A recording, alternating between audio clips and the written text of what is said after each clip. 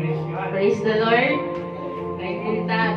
Kaya natakaroon aron pag paambit sa pulong sa atong makagdang nga Diyos.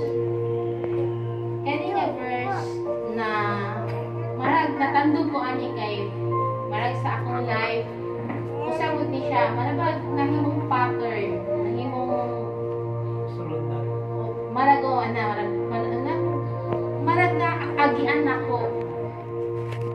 verse Efeso 5 8 to 10 Ganihan to dulo ng inyong kinabuhi apan karon may kahayag na sukad nga kamo na himong katawahan sa Dios busa kinahanglan nga magkinabuhi kamo ingon nga mga tawo nga iya sa kahayag.